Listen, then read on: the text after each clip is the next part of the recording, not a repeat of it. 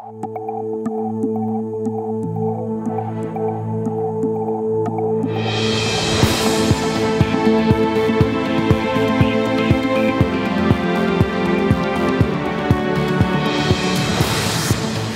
wrocławskie obchody Ukraińskiego Dnia Niepodległości i rodzinny piknik na Wyspie Słodowej. Rodzina, przyjaciele, fani koszykówki i wrocławianie pożegnali Adama Wójcika, legendę polskiego sportu. Dziś narodowe czytanie wesela Stanisława Wyspiańskiego. Wyspiański na szczęście e, po prostu nasze wady wyciągnął w weselu.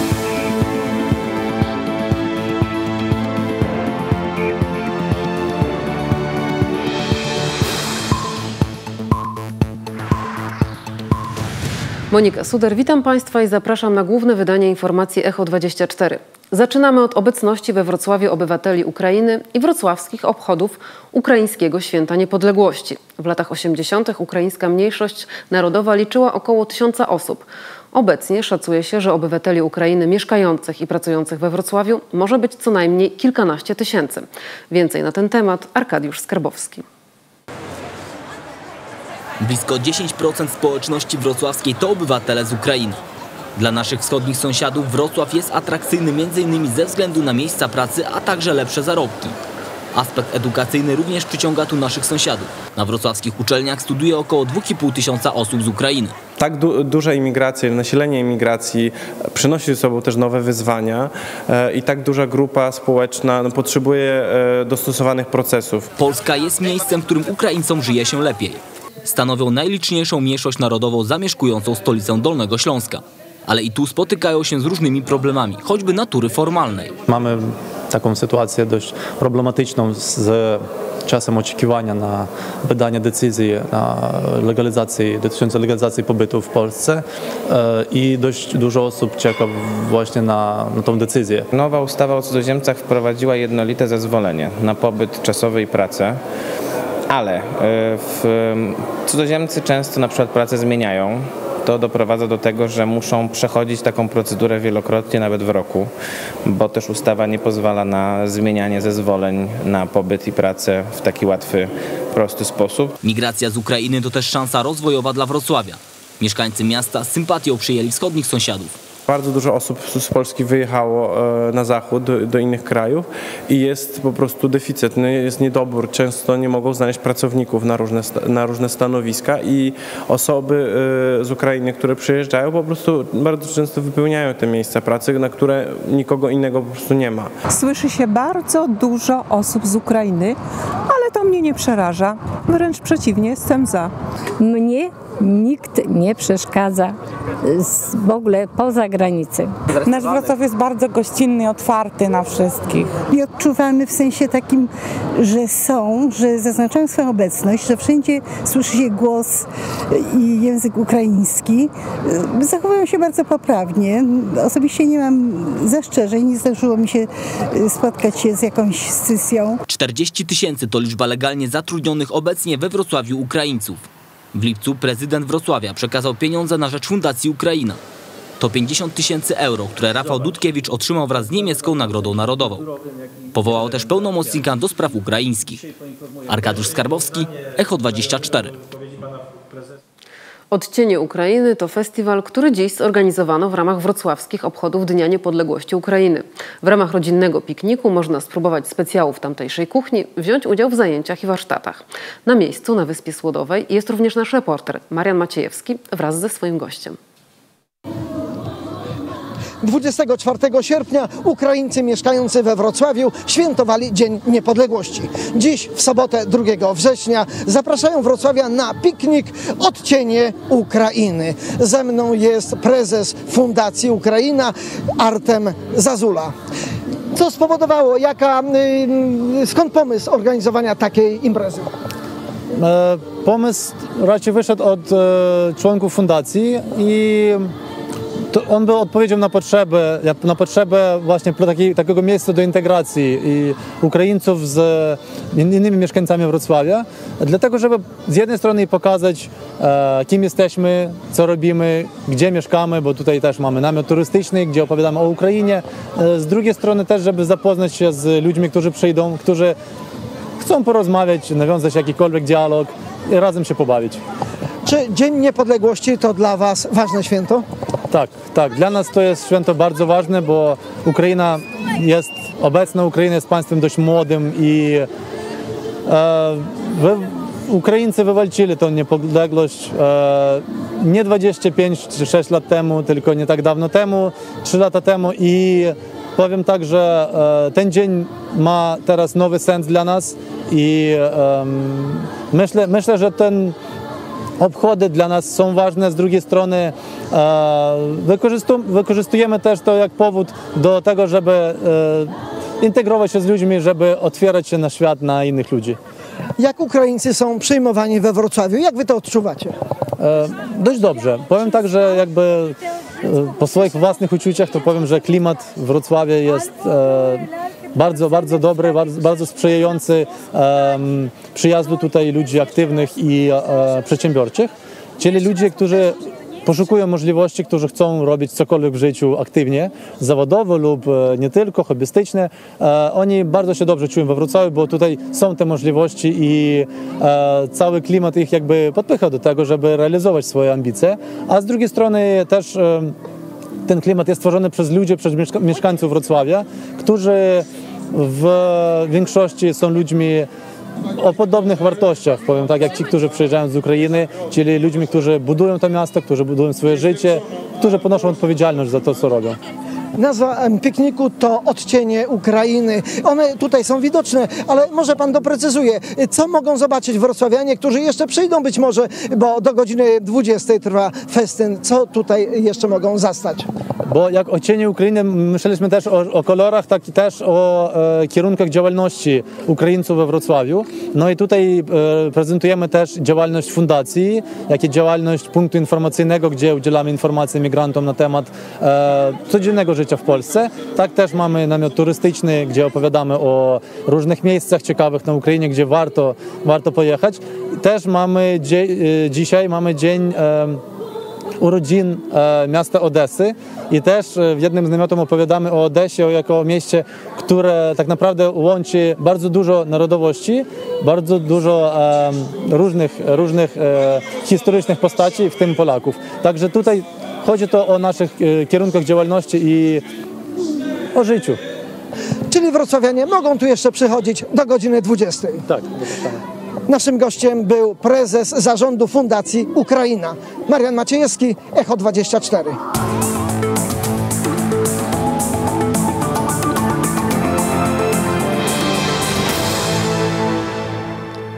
Na cmentarzu grabiszyńskim rodzina, przyjaciele, fani koszykówki oraz wrocławianie pożegnali dziś Adama Wójcika, legendę polskiego sportu.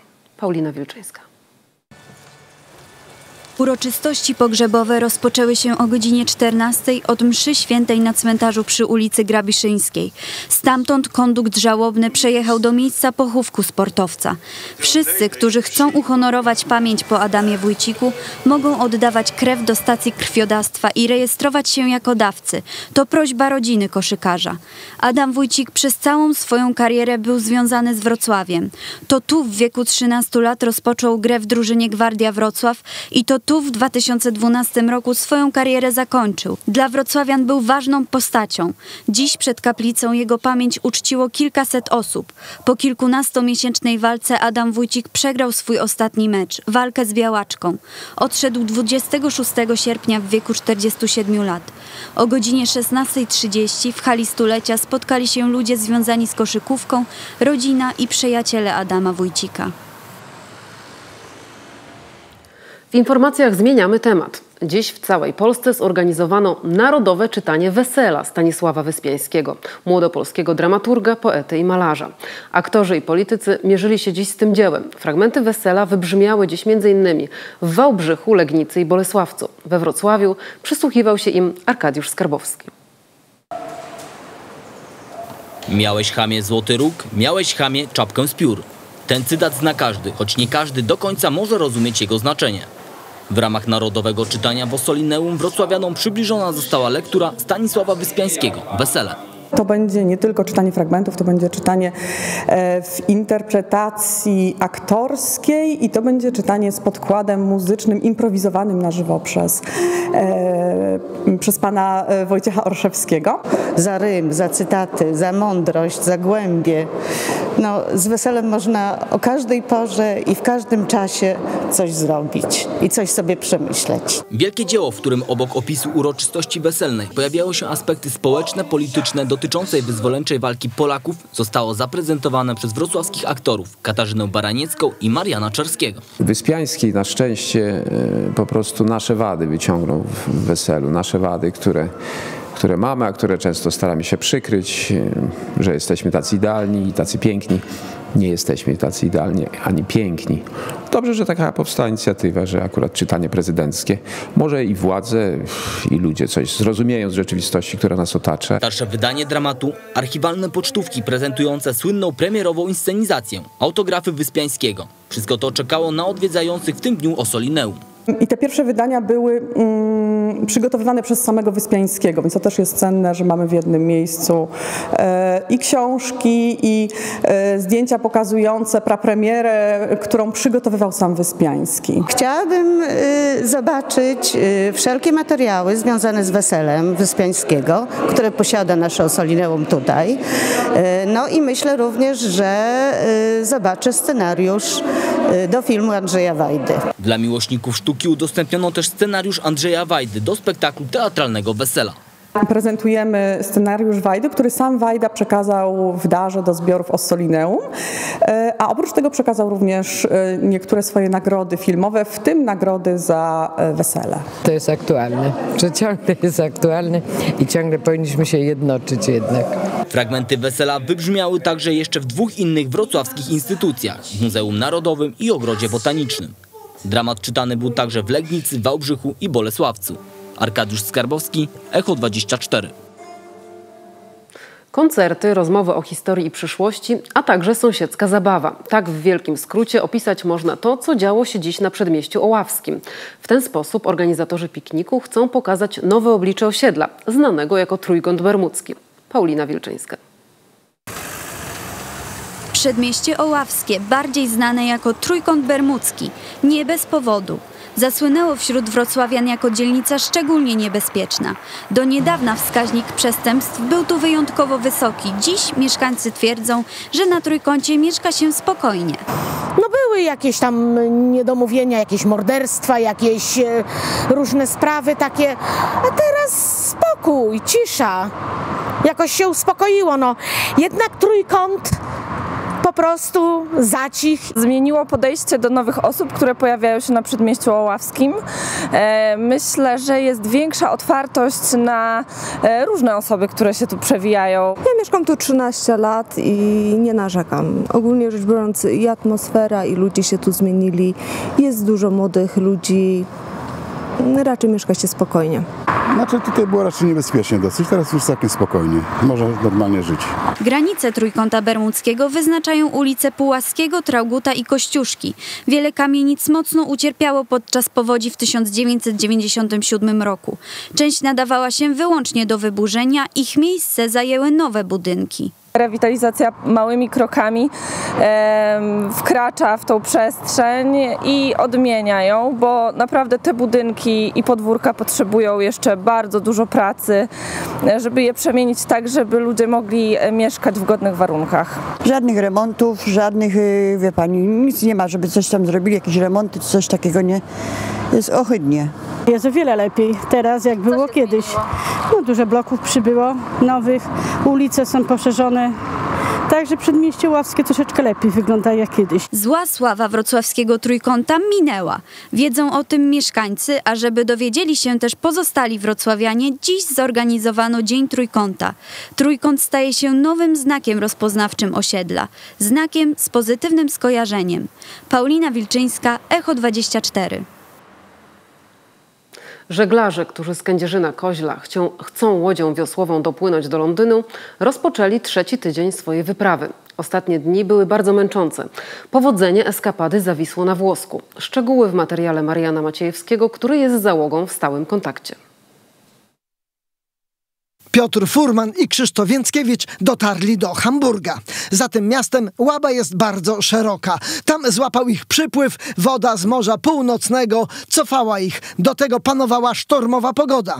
Wkrótce okazało się, że złamał się miecz, a łódź zaczęła nabierać wody, która zalała znajdujące się w kajucie odzież i sprzęt. Wodniacy przypuszczają, że łódź została uszkodzona jeszcze w Polsce na ostrych kamieniach, a za Hamburgiem osłabione tworzywo puściło.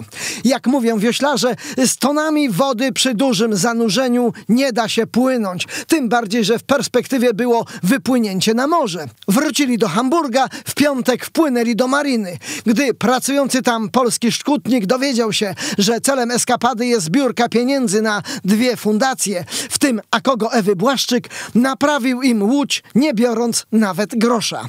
W sobotę po noclegu u pewnej polskiej rodziny wodniacy wypłynęli w dalszą drogę. Oto jak wydarzenia ostatnich dni komentuje Piotr Furman. Łaba pokazała lwi pazur. Przeszliśmy Hamburg, szczęśliwie za Hamburgiem wyruszyliśmy o drugiej w nocy, aby pokonać kolejną część tej rzeki. I niestety Łaba nas pokonała, przynajmniej zatrzymała mocno. Mieliśmy wypadek, zderzenie ze skałkami, e, nadwyrężony miecz został urwany. Musieliśmy wracać do mariny. O 5 rano rozpoczęliśmy działania remontowe dzięki Janowi. Tutaj e, pomagają nam bardzo Polacy. Rzeka znacznie nam pokazała szacunek do wody, do, do tej przygody. Trzymajcie się, pozdrawiamy Was. Brzeźno, na co dzień spokojna wieś położona niedaleko Wrocławia, od niedzieli zamienia się w stolicę golfa. Tam rozpoczyna się tegoroczna edycja Wrocław Open. W sobotnie popołudnie podczas konferencji przedstawiono plan zawodów, zaprezentowano zawodników i oficjalnie rozpoczęto turniej. Ponad 100 zawodowców stanie w niedzielę na starcie turnieju golfowego Wrocław Open 2017. Dzięki dzikim kartom zobaczymy wśród nich także najlepszych graczy PGA Polska oraz reprezentantów kraju. To najważniejszy turniej zawodowy w Polsce w tym roku, organizowany we współpracy z niemieckim ProTurem. W związku z tym zagra w nim kilkudziesięciu również e, zawodników e, europejskich, głównie z lig niemieckich, austriackich, czeskich, z najwyższą pulą nagród. Turniej zawodowy, w związku z tym tylko tylko dzikie karty pozwalają na grę e, naj, najbardziej ambitnym amatorom oraz polskim zawodnikom, którzy nie zakwalifikowali się wcześniej do tego turu. To bardzo ważny turniej, to jeden z dwóch zawodowych turniejów, jakie się odbywają w Polsce. Przyjeżdżają tutaj jedni z najlepszych e, zawodników z Europy. Dla nas jest to ważne także z tego powodu, że nasza kadra może sobie powalczyć z naprawdę bardzo dobrymi zawodowcami. E, to dla nich ogromne doświadczenie, nie muszą jeździć po świecie, mogą w Polsce spróbować jak ich gra wypada na tle najlepszych zawodników zawodowych. Jednym z uczestników turnieju jest Mateusz Gradecki, pięciokrotny mistrz Polski i numer jeden światowego rankingu juniorów w 2012 roku już niedługo stanie się graczem zawodowym. Jeszcze jako młody chłopak postawiłem na treningi golfowe. Też grałem bardzo dużo w piłkę nożną, ale postawiłem jednak na golfa. E, pojechałem do Stanów e, na uczelnię golfową, na stypendium golfowym, aby rywalizować z najlepszymi na świecie i dokończyć swoją edukację. Także Jestem już na drodze do zawodowstwa. Myślę, że w przeciągu roku e, przejdę na zawodowstwo. W sobotę rozegrany został turniej Pro Am, w którym amatorzy mogli zmierzyć się z profesjonalistami. Uczestnikiem i gościem specjalnym zawodów jest Mateusz Kusznierewicz. Ja tutaj przyjeżdżam często, żeby odpocząć i trochę pograć w golfa, bo wtedy, kiedy nie żegluję na co dzień, to właśnie moją drugą pasją sportową jest teraz golf. I tak sobie fajnie czasami gramy i z Mariuszem Czerkaskim, który wywodzi się z hokeja, i z Jurkiem Dudkiem, e, który wiadomo jest naszym wspaniałym piłkarzem, bramkarzem i dzisiaj zagram z Michałem Ligockim, który jest snowboardzistą. Mówię o osobach e, związanych ze sportem, które też odnaleźli sobie taką swoją drugą e, pasję. To już kolejna w ostatnich miesiącach duża impreza sportowa we Wrocławiu i okolicach. Są takie elementy, które świadczą o jakości pewnej przestrzeni, o jakości miejsc i jak jestem czasem pytany y, za granicą, co to jest Wrocław, jak wygląda miasto, to pada też często pytanie, czy są pola go, golfowe. Więc obecność dobrego pola golfowego jest tego rodzaju, tego rodzaju miarą dobroci, miarą tego, czy, czy, czy, czy jakaś przestrzeń jest przestrzenią z klasą. Turniej Wrocław Open 2017 zaliczany jest do oficjalnego rankingu światowego WAGR. Pula nagród tej imprezy wynosi ponad 150 tysięcy złotych. Dla Echo 24 Joachim Tomczyk. Na zakończenie mamy komunikat. To apel o pomoc. Trzyosobowa rodzina z pięciomiesięcznym dzieckiem pilnie potrzebuje dachu nad głową. Stąd prośba do Państwa. Rodzina szuka mieszkania we Wrocławiu. Szczegóły o tym, w jaki sposób można pomóc rodzinie na naszym portalu internetowym echo24.tv. W ten sposób kończymy informację. Dziękuję Państwu za uwagę. Do zobaczenia.